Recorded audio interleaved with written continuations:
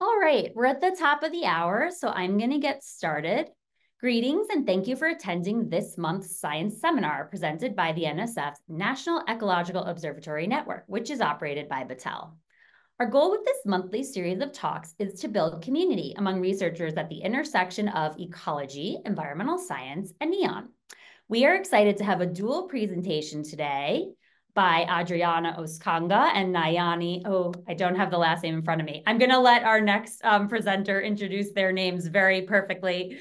Um, Nayani and Adriana are our dual presenters. We're very excited for their talks today. But before we turn it over to those fantastic speakers, I want to go through a few logistics. So we have enabled optional automated closed captioning for today's talk. If you would like to use it, find the CC button in your Zoom menu bar. The webinar will consist of a presentation, actually two presentations, followed by Q&A. And we're going to do a short Q&A after each presentation and then try to leave a little time for more of an integrated QA, maybe uh, reaching across themes that touch both talks at the very end of the session.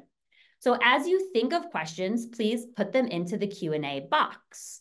We also have a meeting chat, which you're welcome to use to share links or other items of interest, but add questions for the speakers into the Q&A.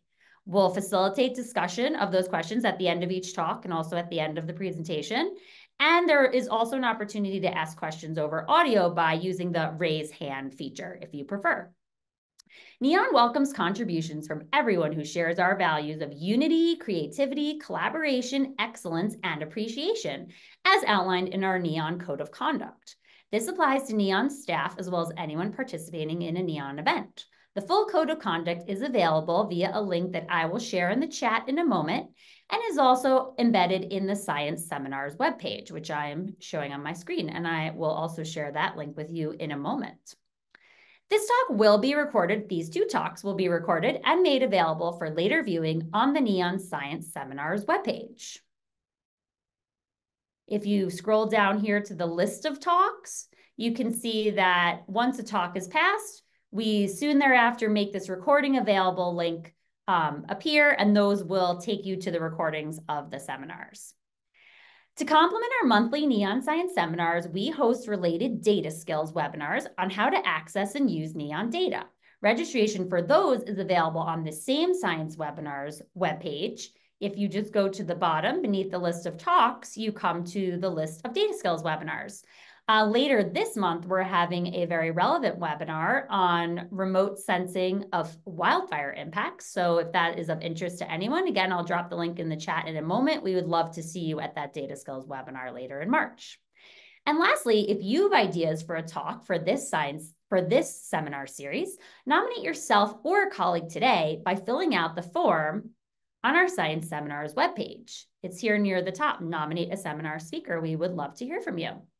So that's it for me. I'll turn it over to John Musinsky to introduce our fantastic lineup of speakers. Uh, thank you. Thank you very much, Samantha. Uh, I'm John Musinsky. I'm a remote sensing scientist with uh, the Airborne Remote Sensing Group. and I'd like to, I'm very pleased to introduce Dr. Adriana Uscanga, who will be our first speaker. Adriana is a postdoctoral researcher working with Dr. Kyla Dahlin at the Ecological Remote Sensing and Modeling Lab in the Department of Geography at Michigan State University. Uh, Adriana is a landscape ecologist who integrates field and remote sensing data to analyze patterns of vegetation change over space and time, investigating their impact on carbon dynamics and biodiversity. Uh, Adriana earned an undergraduate degree in biology and a master's degree in ecology and evolution at the National Autonomous University of Mexico. She went on to earn a PhD in geography from the University of Oregon, where she analyzed the interacting effects of environmental gradients and land use intensity on tropical forest structure and tree diversity. Currently, her interdisciplinary work seeks to improve our understanding of the influence that disturbance, land use, and land management have on forest structure, composition, and function across scales. So, without further ado, please welcome Adriana Uscanga. Hi, everyone. Thank you very much. I will um, share my screen with you all. There, I hope you can all see that.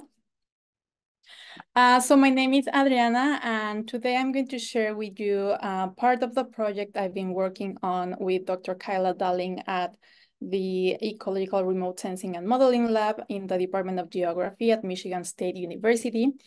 And the main focus of this project has been to characterize vegetation change over time or disturbance trajectories to improve forest structural models that in turn help us to make better predictions of forest carbon uptake.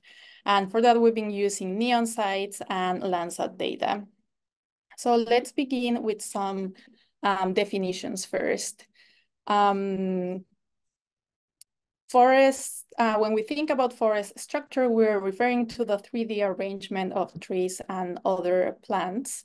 And we measure forest structure with variables such as leaf area index, or um, which is the area of leaves per unit ground, or variables such as canopy height, which is the height of the trees, canopy rugosity, which is um, a measure of um, how complex is a canopy in a forest, and there are many other variables of forest uh, structural attributes that we can we can measure in the forest.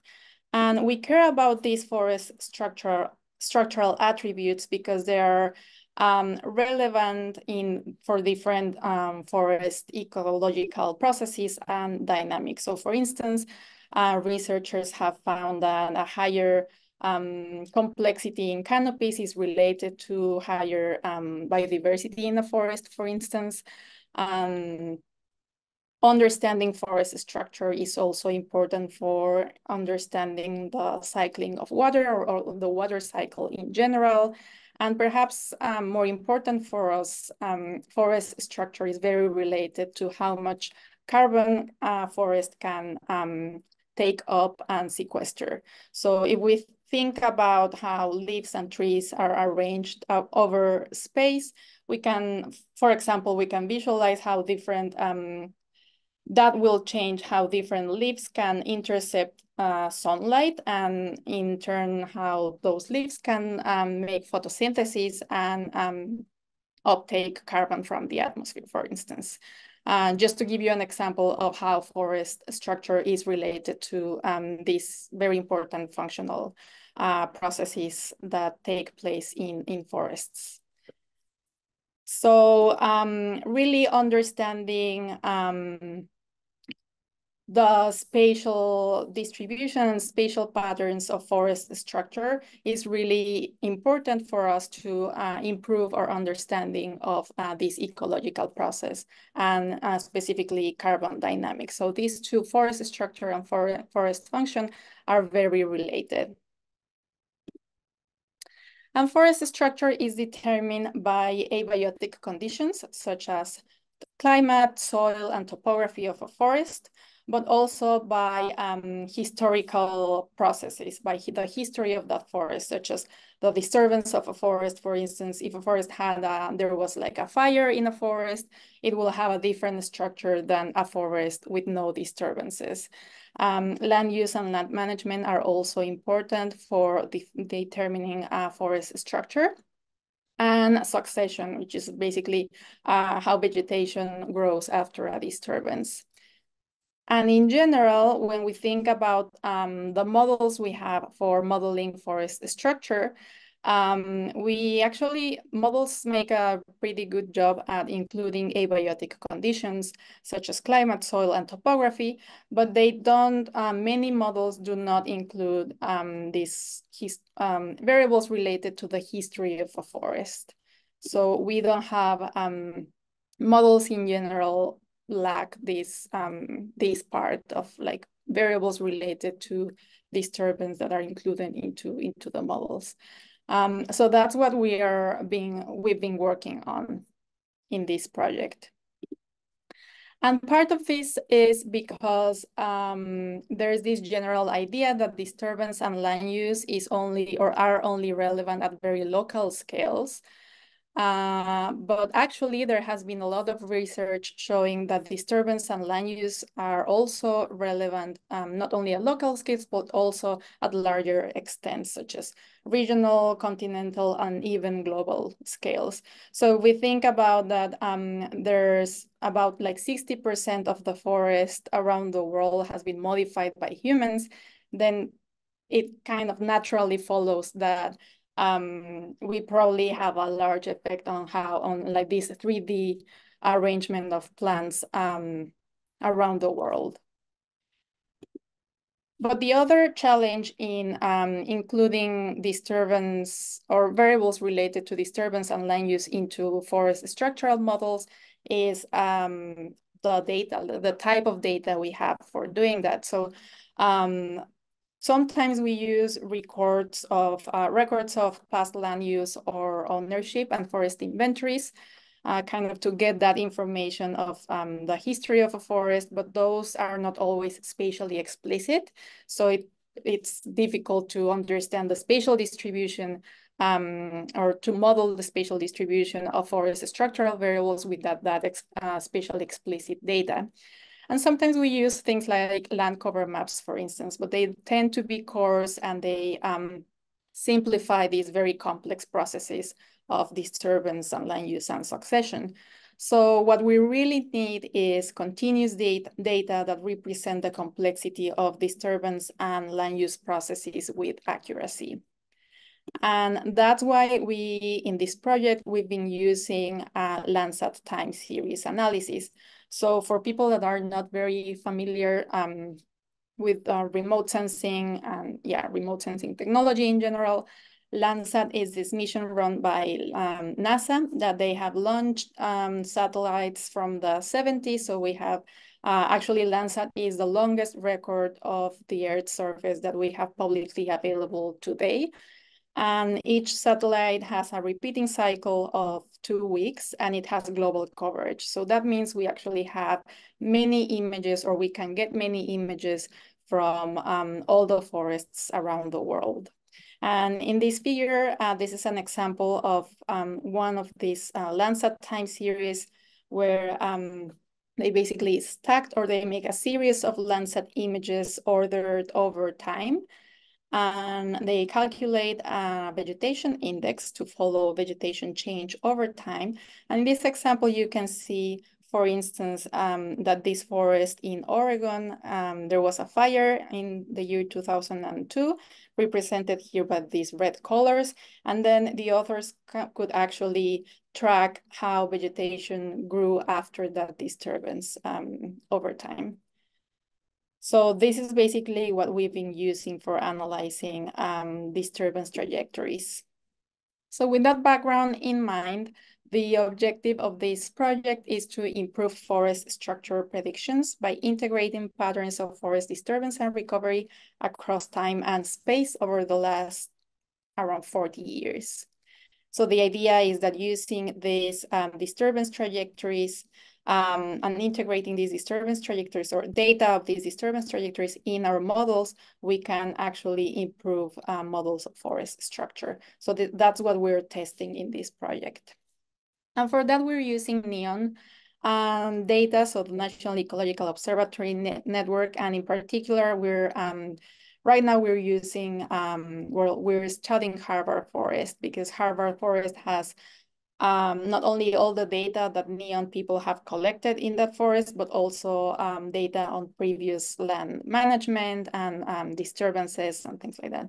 So um, as many of you probably know, NEON uh, collects or like, yeah, NEON people collect a lot of data in, in NEON sites um, field data on the ground. They also have um, flux tower in each site, but they also have an airplane with a LiDAR sensor and a hyperspectral uh, sensor, uh, which is great for us.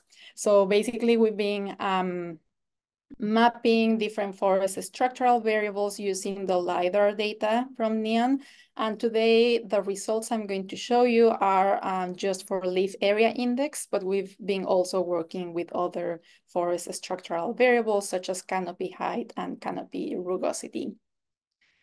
So we've been using LiDAR for mapping leaf area index and uh, for the um, disturbance trajectories, we've been analyzing Landsat time series um, using three different vegetation indices, the normalized difference vegetation index or NDVI, the normalized difference moisture index or NDMI, and the Tasseled cap wetness. Um, and to analyze this Landsat time series, we've been using this algorithm called LandTrendr implemented in Google Earth Engine. So LandTrendr is basically um, an algorithm, a segmentation algorithm. So it basically takes a time series and it splits that time series into different segments that are connected by vertices. And each vertex represents a change in trajectory, so a change in, in vegetation. Um, something that's really uh, important for us and like that we really like about using this is that um, this algorithm and this method is that it's um, we get information pixel wide, like by every pixel. So we get a uh, disturbance trajectory per pixel. And each segment has a magnitude, a duration, and a rate. So with that information, we can derive many disturbance metrics um, that we can later on use in our models. And disturbance metrics are things like the number of vertices in a time series, for example, or how many uh, disturbances there were in, in a time series. The time since last disturbance, the magnitude of vegetation um, decline, and there are many, many other um, disturbance metrics that we've been using and that, that we derive from LandTrendr. So here I'm just showing three of, of these examples. Um, on the left, you can see um, if NDVI, for instance, grew in, in every pixel uh, along these like 40 years. In the middle, uh, it's the NDMI magnitude change. So basically, if NDMI increased or decreased over time, over like the 40 years of, of, of time of yeah time series, and also the standard uh, deviation of ND, NDMI over time on the on the right in, in purple.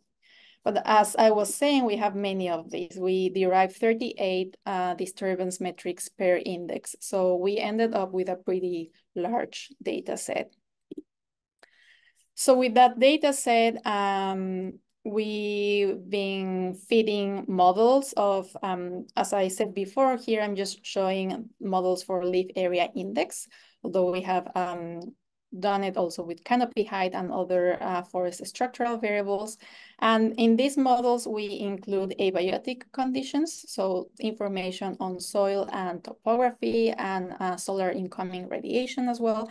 And we also include the disturbance metrics. So just to give you an example of how that looks on like maps. Um, on the first row, there are some um, predictor variables related to topography and soil. Then we're also using the um, NDVI, Tasseled cap wetness, and NDMI for the year where data was collected, which is to the year 2018. And then uh, we're adding all the disturbance metrics we derived from uh, LandTrendr.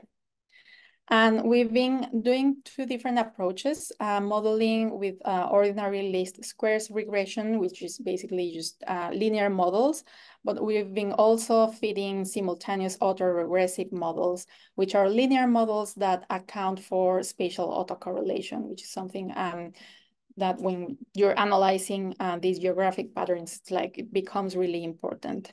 Uh, so basically SAR models are linear models that include a term for like um, the, the dist uh, distance mat matrix between pixels and that helps with um yeah with for like accounting for spatial autocorrelation in the models and we've modeling or like we've been feeding these models in like three different steps.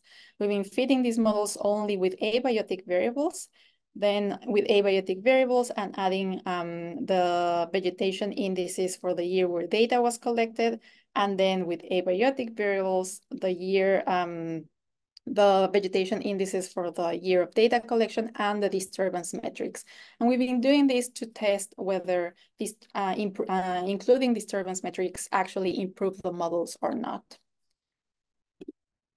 So here are um, some of the results um, for leaf area index. So in these scatter plots, I'm showing on the y-axis the leaf area index, the observed values of uh, leaf area index on the y-axis, and then the fitted values for um, leaf area index on the x-axis.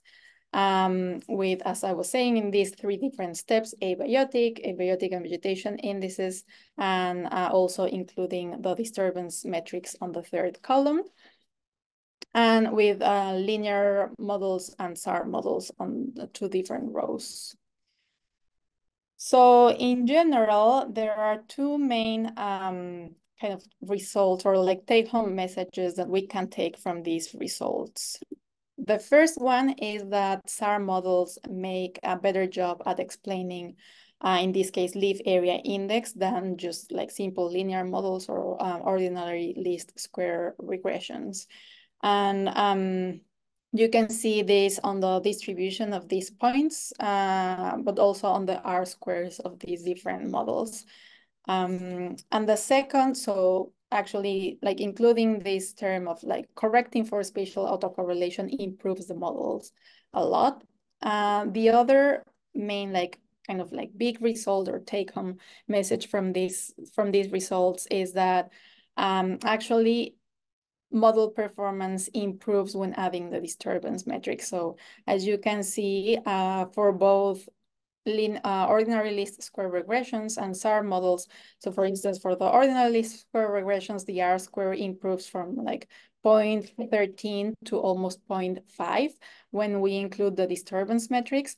And for the SAR models, even if the R squares between the model on using only abiotic variables and the model using also the disturbance metrics uh, is not that different.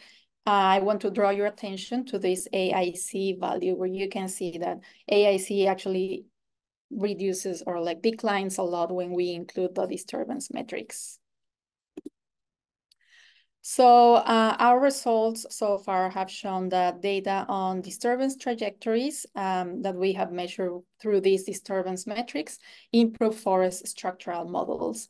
And although the results I'm showing here were only for leaf area index, we have seen the same um, kind of the same trend with other with other uh, forest structural variables. The predictors change with different forest structural variables, but it's uh, kind of the same trend where, where uh, SAR models work better than ordinary least square regressions, and that adding disturbance metrics improve the models a lot. So we've been very happy with seeing these results. And um, in the future, we would actually like to, um, so these models have been very helpful for explaining the um, spatial distribution of forest structural attributes, uh, but we actually would like to make some predictive models to kind of use this similar approach, but actually to predict how forest structure could look like in other sites. Um, we would also like to and do this with plant functional traits using the hyperspectral data that NEON um, collects. And um, both for like, especially for the predictive models, it would be very interested to test the same approach at larger extents. So we plan to not only include other neon sites also in temperate forests, but also use, uh, we would like to use these methods with like other forests. And especially we're very interested uh, in seeing if these methods um, hold true or that these are all also um, yeah, if, if these methods hold true for other understudied regions. So regions where we, for instance, don't have that much information on the disturbance history and the land uh, previous land use and land management, but also um, where we don't have, for instance, uh, airborne LiDAR and things like that. So we're very excited to be working with NEON sites where we have a lot of data to then being able to test these same approaches um, in yeah in understudied regions such as tropical regions, for instance, that um, we yeah we we really need to to be working more on those on those areas and finally we've been also working on this idea of disturbance syndromes which is basically like a classification of the disturbance trajectories we've been analyzing across um across different ecosystems. So that's um for future for yeah for the future uh future results. Um so finally, I would like to also announce that uh, we've been running this um, Spectral Ecology Summer School. Spec School is a school for uh, grad students and postdocs that are interested in uh, terrestrial ecology and remote sensing, and we use a lot of NEON data in this school. So if you know someone that could be interested or, or if you're interested in joining, uh, we will open applications by the end of this year, and we're currently running the second year of Spec School. And um, the in-person portion of the school actually takes place in the Mountain Lake Biological Station, which is also a NEON site. So um, yeah, fun times. If you're interested, please um, join or send your application and uh, spread the word. So with that, I would only uh, like to thank you for listening and also thank um, Kyla and people at the ERSAM Lab, NSF Neon Landsat and um, the Landsat mission and Land LandTrendr and Google Earth Engine for making this project possible. And with that, I think we do have a couple of minutes where I can take questions. Thank you very much. Thank you so much, Adriana. That was a great presentation. Yes, we do have a few minutes for um, questions before the next presentation. So please, um, if you didn't see the message in the chat from Samantha, add your uh, questions in the Q&A box. Um, yeah, the first question we have is, have you noticed differences between sites or forest types in the influence of disturbance on structure?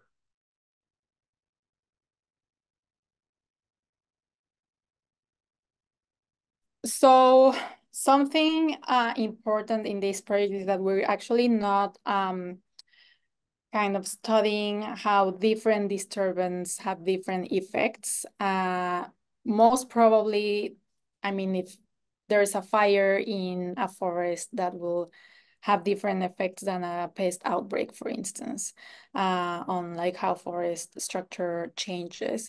Uh, we're not, since we're working, like the idea is to work um, at landscape regional continental scales uh, and make like a classification of these different uh, disturbances. We want to see whether um, different forests react similarly, even if to, to like disturbances, even if we don't know exactly which disturbance caused the, or what was the cause of that disturbance. Um, so yeah, I don't know if that answers the question, but that's what we're uh yeah, that's what we've been trying to to do. And uh, we haven't compared these results or like these trends with different forests. So I will look forward to, to do that, uh, including like all other neon sites in this analysis. Okay, great. Hey, I think we have uh, time for one more question. Hi, Andrea, great talk. I was wondering if you use some sort of temporal interpolation for filling missing Landsat images due to cloud cover? No, that's an excellent question. So what uh, does is um, instead of using all the images for like the whole year, uh, well, first of all, we do some like cloud screening and we do mask clouds uh, from these Landsat images, but we also uh, make a medoid uh, image, so a composite image just for like a couple of months. So we use June, July, August, I think, uh, for each year. So we don't use, so in that in that way, we kind of remove the seasonal variation and we also remove the um, effect of, of clouds or like cloud covering. Um, so that's what, what we've been using for, for the Landsat time series analysis. And I'm, yeah, I'm happy to, to talk more about that that process later. Okay, great. We have a couple of more questions. Um, but uh, for the sake of time, what I'd like to do is save them to the Q&A session at the end of the, the talk. And um, first give a chance to uh, Nayani to um, present, and then we can um, open the, the floor to all the questions uh, at that point forward. So uh, to those of you who put these sent these questions in, thank you very much. We'll get to them in a few minutes. Thank thank you. you very much, Adriana. Okay, uh, I'd like to introduce Dr. Nayani Ilangakoon. Nayani is a research scientist at Earth Lab at the University of Colorado in Boulder. She earned her PhD in geosciences from Boise State University in 2020. Her background is in remote sensing applications of ecosystem ecology and forest diversity. Her recent projects include post-fire recovery and carbon potential in Western US conifer forests using GEDI spaceborne LiDAR and unmanned aircraft systems, UASs. In addition, she works on model and algorithm development with GEDI data to estimate semi-arid ecosystem biomass density, implementation of UAS methods to understand post-disturbance vegetation regeneration, ecosystem transformations, and their impacts on carbon. Please welcome Nayani Ilangakoon. Thank you, John. Hi, everyone. First, let me share my screen.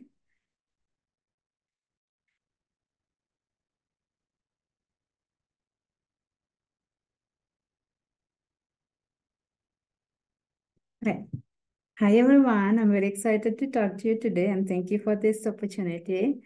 Um, so first, um, before I start my talk, I think I should um, acknowledge my funders, the NSF CIRES and Earth Lab, and also all my uh, contributors and collaborators for this research. Um, so I'm Nayani Ilangakoon. I'm a research scientist at Earth Lab. So during this talk, I'm going to um, provide summary of some of the research that I did uh, past couple of years.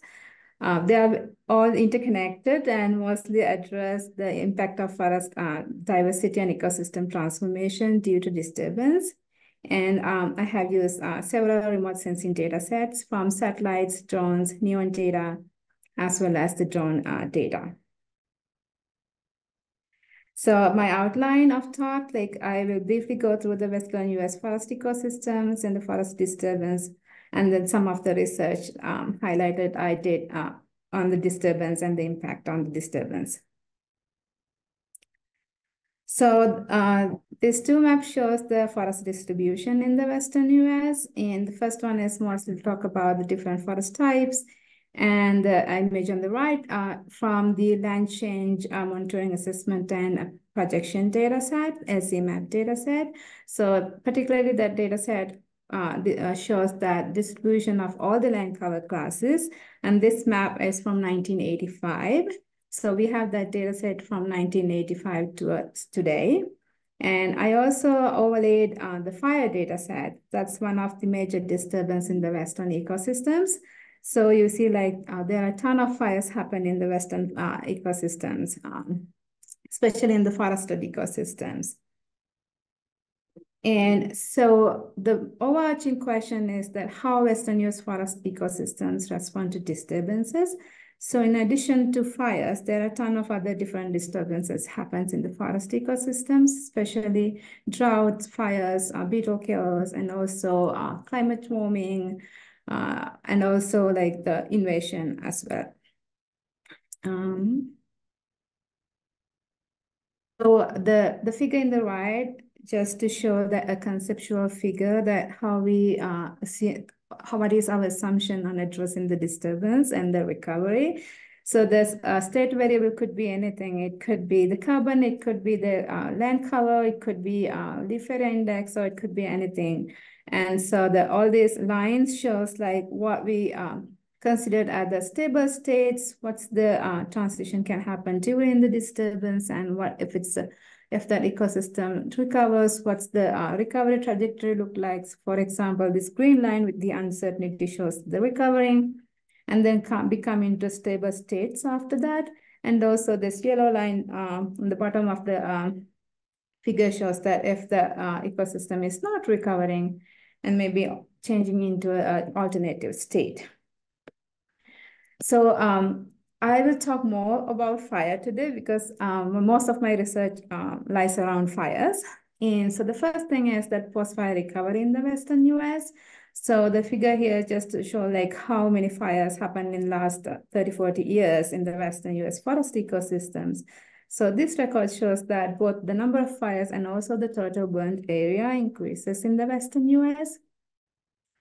And um, so when we have that, and it continually increases the frequency and the intensity, everything increases during the last um, couple of decades. So the question is like, what actually happens after a fire? So there are a couple of ways that ecosystem can undergo after a fire.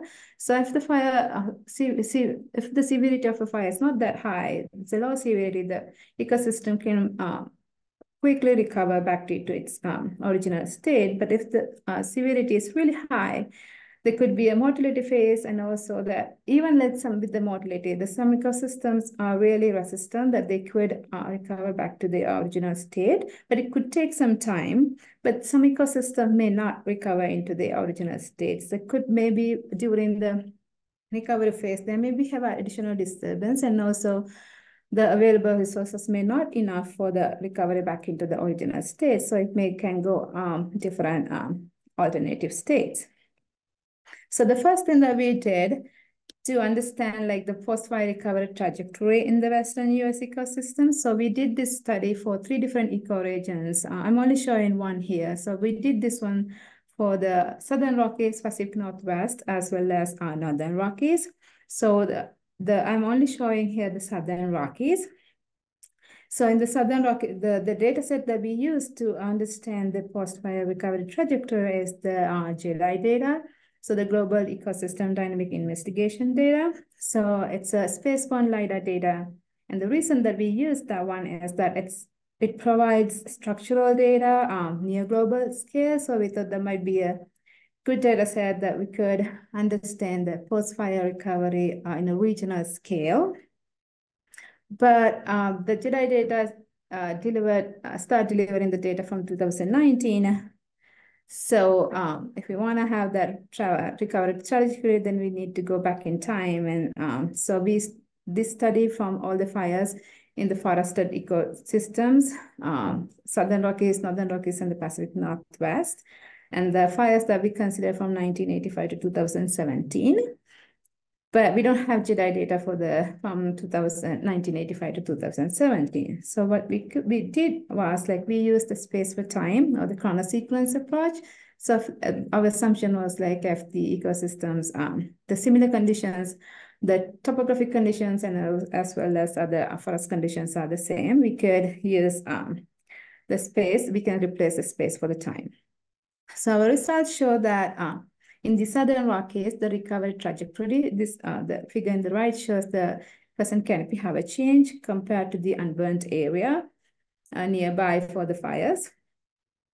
Across different uh, fire severity gradients, the, the red line shows the high severity, blue line is the moderate severity, and the green line is the um, unburned uh, the low severity. So it shows that if it's the fire happens at uh, low to moderate severity conditions, it's easy to recover in the Southern Rockies. But if the fire happen in high severity, then it's really hard to recover. And even like after 30 years, it's very low, uh, the recovery, but it shows like, based on the trajectory, it shows like, like if let that ecosystem um, recover for maybe next uh, 30, 40 years, based on the extrapolation of this trajectory, it might recover back into the original state. And what other thing that we found is that not only the time since fire, there are other factors also contribute to the um, post-fire recovery. Some of those factors are the fire size, the distance to receipt sources, uh, drought conditions, the PEI is the, um, in the drought conditions, and also the topographic, topographic conditions.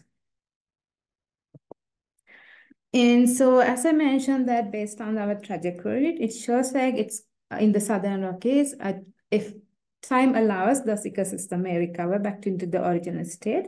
But this data that we analyze are structural data. It doesn't show anything about the species composition or anything.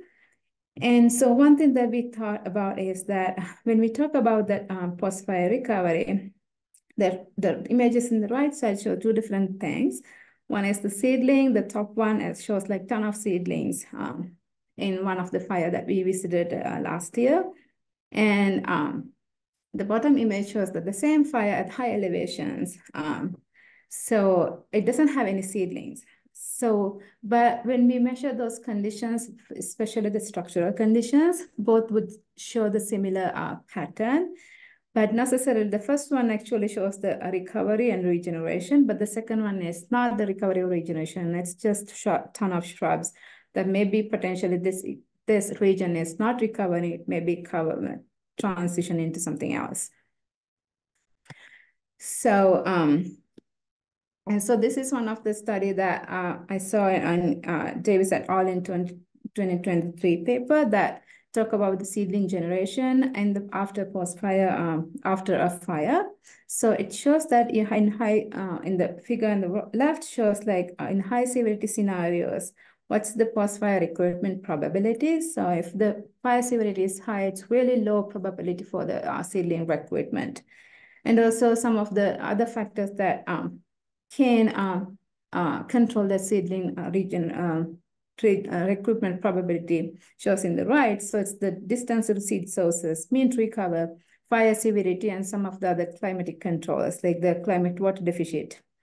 Likewise, so there are a ton of other conditions that site-wide conditions that can potentially impact and the uh, post-fire uh, regeneration and the uh, seedling recruitment probability.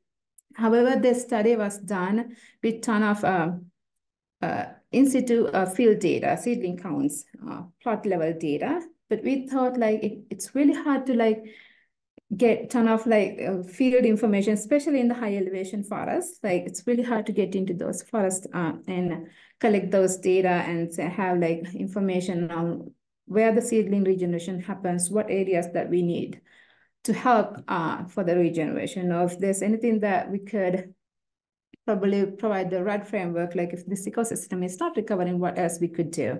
So it's really hard to get into some, physically get into some of those locations. So we thought might be a, yes, uh, drone remote sensing might be a good option that could potentially collect more information and can probably um, go align with the field, in-situ field data and um, that can cover larger areas than say, little uh, field plots and can help to better understand regeneration uh, after a fire in different ecoregions. So in this one, what did it we, uh, again, this one basically happened in the Southern Rockies ecoregion. So we actually um, uh, visited 10 fires in the Southern Rockies ecoregion that happens around um, 20 years ago. We choose 20 years ago because we want to let them ecosystem, those ecosystem to show some signs of recovery or transformation. So we could find that factors, what helps for the regeneration, what does not help for the regeneration. So we collect the drone uh, data, so the RGB images from the Phantom 4 drones.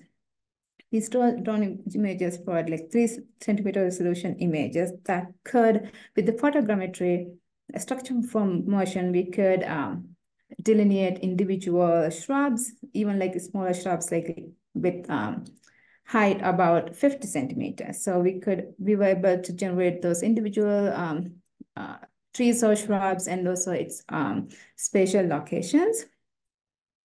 And then um, what we did, like we actually like uh, use uh, information from the drone images to classify uh, into different categories. So that we have eight different categories. So deadwood, ground, herbs, live trees, rocks, seedlings, and shadows and shrubs. So why we had like all these different categories? Because like our assumption was like in different site, microsite conditions might also uh, control the seedling recruitment and the regeneration uh, so most of the studies consider like the macro scale factors, the climatic factors, the um, and elevation and uh, topographic gradient, like uh, regional factors. But we thought like maybe there are some other site level microsite conditions that might also control the post-fire regeneration. So this is our workflow in the right that we um, develop to understand that microsite conditions on the uh, post-fire seedling regeneration in the Southern Rockies. So uh, in our study that it shows um, uh, not only like other climatic and topographic gradient factors, but also like the shrub density, deadwood density, standing density also like impact the seedling uh, regeneration in the, uh, especially in the high elevation areas. So this is uh, one figure that I'm showing the very um, right that uh, higher the shrub density, higher the seedling density in the Southern Rockies, especially at high elevation forests. So in this region, so this is still undergoing. So our next step for this one is to evaluate the post-bioconfer regeneration strategies uh, against the microtopography and the site conditions. So in this one, like we are evaluating shrub density, standing dead density, and also some other microsite conditions. And so the all these first research that I talk about consider the fires that only burns only one times. But when we uh, take a look at the fire data set. This is from the Welty, the Welty combined fire data set. So if we consider the fires um, from that data set, it combined like different data sources um, with the uh, fire records. And I only consider here the fires from 1985 to 2017. And it shows like some of the ecoregions in the West have uh, fires that burn more than seven times. So what's the uh, recovery if the if a region burns more than one time? So our preliminary, uh, so uh, preliminary excuse me, results show that some of the ecoregions in the western U.S. Uh, likes uh, uh, burn new areas, but some of the ecoregions in the western U.S. like um, repeatedly burn. So this could be like uh, forest turn into grass and the grass cycle has more fires. It could be that reason, or maybe there are some other reasons that uh, potentially from it repeat fires and the new fires um, in those regions. So in this study that our next step is like to evaluate the carbon recovery with repeat fires. So in this one, we are planning use GEDI and ICESat to combine the biomass density, density data and evaluate that uh, repeat fire uh, carbon recovery potential um, across ecoregions and also against plant functional types. Like so, this uh, research was funded by CIRES IRP. Um, so that's another research that I am um, doing.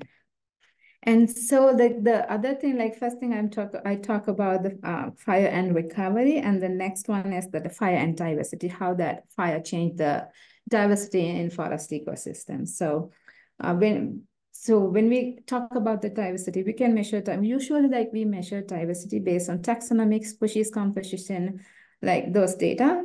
But also we can calculate the diversity in the same way um, using um, other metrics, the remotely sensed metrics. Um, so if we could uh, derive some of the uh, remotely sensed traits, then we could uh, use that traits in the same way that we could uh, calculate the different diversity matrices. So in this one, we have three different matrices, the functional divergence, functional evenness, and functional richness. So to calculate these three different um, diversity indices, we use three different traits. One is the canopy height, one is the plant area index, and one is the uh, foliage height diversity. So we calculated this one uh, using airborne um, full waveform LiDAR data. So and so once we have calculated this diversity, this is a figure that shows like the distribution of diversity across the watershed. So the first figure is the functional richness, the second one is the functional evenness, and then last one is the functional divergence. So you see like the distribution of um, this uh, functional diversity across the watershed is different. And so there may be some reasons why these um, diversity uh, indices uh, distribution varies within that um, ecoregion within that watershed. So like next steps are to see like what's the signature of this distribution of diversity across the watershed.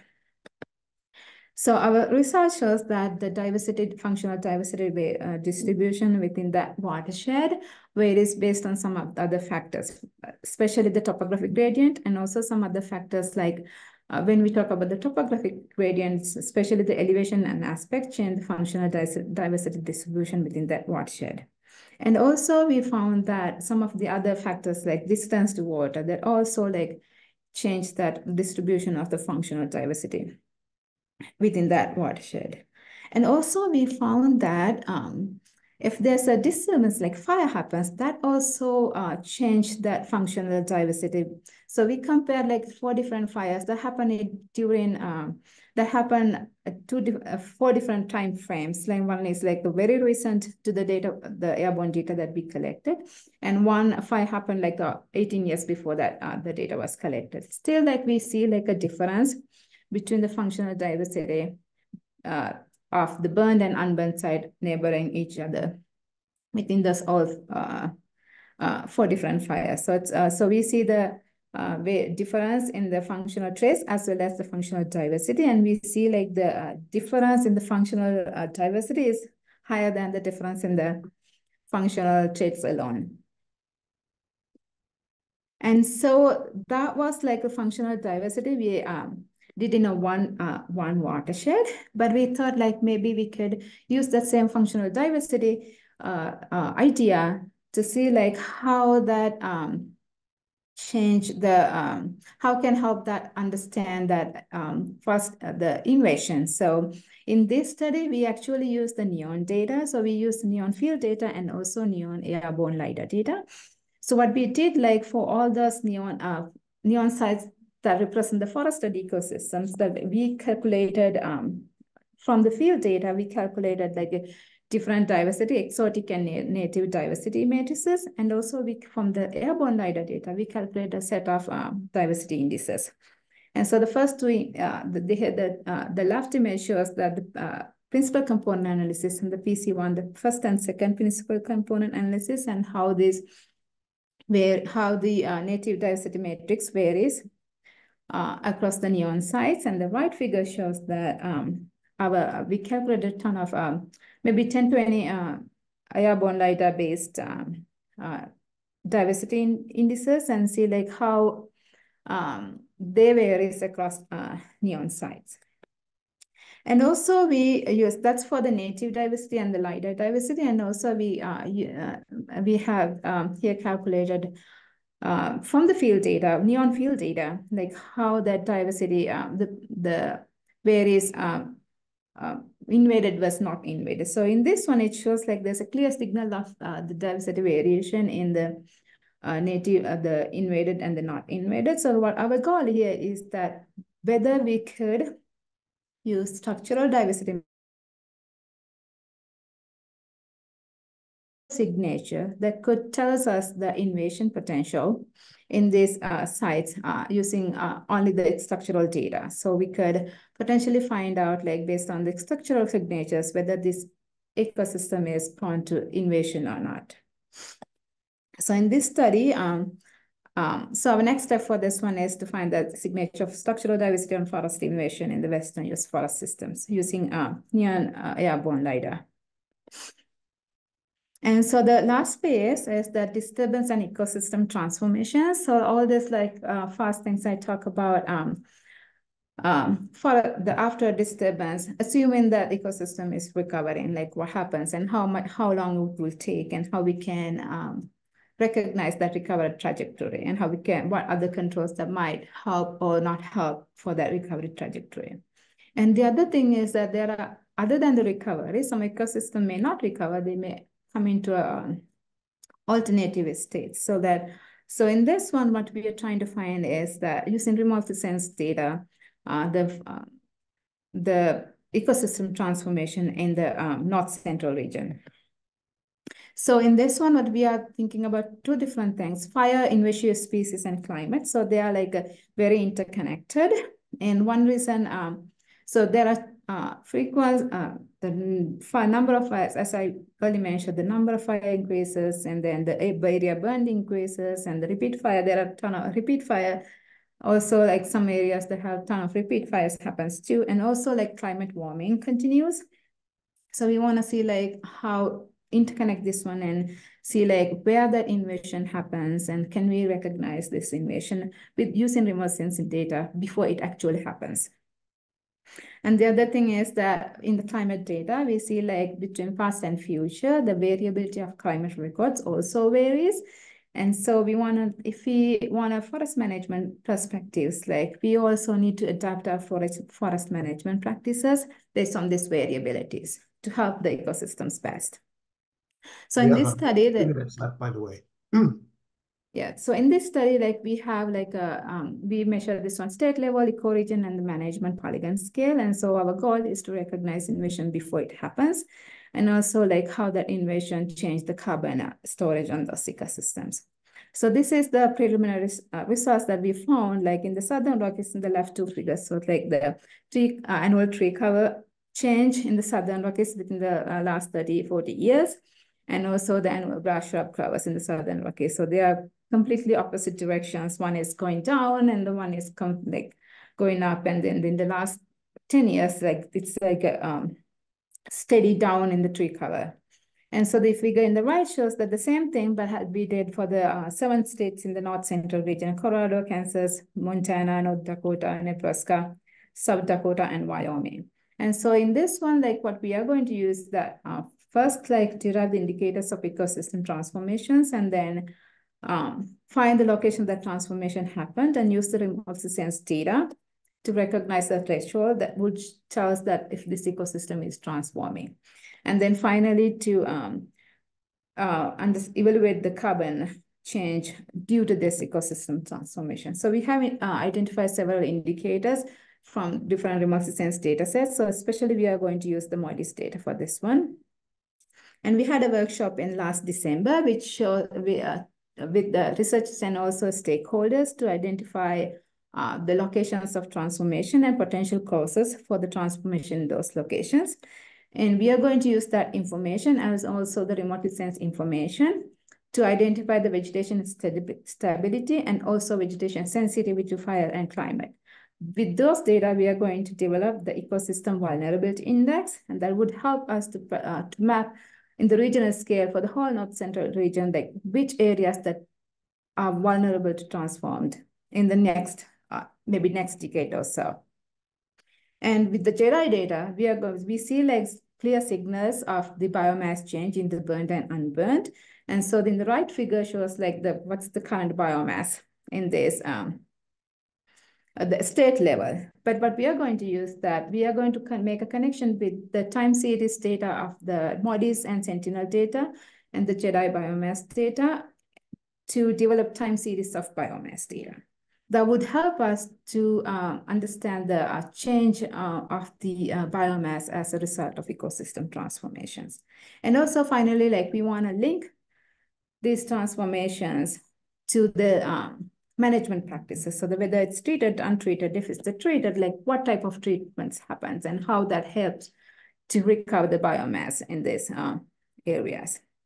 So in this one, there are five steps like find locations where the uh, find locations vulnerable to future transformation and what's the impact on carbon storage. So with that, I want to conclude that my uh, the research that I talk about, uh, these are the basic conclusions from all these things, that disturbance frequency and intensity increases, and also the disturbance decrease the carbon storage. And most of the studies that I did are from the fires, but um, there, there will be other signatures that we might need to have more research. And also some ecosystems like repeat fires, some are not, and why that happens, and so it's also needs some attention. And um, and also it's uh, really critically important to identify areas that uh, transformations happens and then why that happens and how we can help. With that, um, I want to finish my talk with uh, these questions uh, for you that would probably help us to improve our research. Thank you. Thank you very much, uh, Nayani, for an excellent presentation. Um, we have two minutes left for um, questions. Um, one came in um, during your talk. Hi, Nayani, based on your experience in using GEDI data for analyzing height changes, was the noise in GEDI LiDAR so high that it overshadowed the signal in height changes due to fire? Did you use only the nighttime data as daytime data may have more noise? And I was curious about how you dealt with ground detection in areas with dense canopies. Yeah, so in this one, we use the daytime data and also we use some of the quality flags that uh, GEDI data comes with to have like only the high quality data. And um, so um, we didn't consider anything dense versus um, uh, not dense. We only considered what it comes as is. Um, but we instead of like not we so one thing we did, we did not use only the canopy height. We used the other two data sets, uh, two the two other uh, indices, um, the GEDI data calculus, plant area index, and the foliage height diversity as well. So our final conclusions, we um, we developed the trajectory with all three different indices, and so our final conclusion based on combination of all three. So the foliage height diversity uh, can uh, probably uh, uh, recognize the different densities within the canopy. And the one other thing that when we do this research, so um, because uh, GEDI cannot uh, recognize some of the seedlings that are very short, so that was the drawback in this one. So that's why we move into the drone data to see like how much um, carbon or the trajectory that we have missed because the GEDI cannot recognize that one. Great, thank you very much. well, thank you both, Nayani and Adriana, for your excellent talks. Um, um, we look forward to uh, seeing you again, and um, any further questions we'll uh, be sure to send to you via email. Thanks, everyone. I, I put a couple of notes in the chat, but we, if you're interested in fire and remote sensing, please join us for a data skills webinar later in March. And then we've got our next edition of Science Seminar Series again, second Tuesday in April. So we hope to see you for those. Thanks again for two excellent presentations. We appreciate you very much and have a great day, everyone. Thanks for joining. Thank you all. Bye-bye.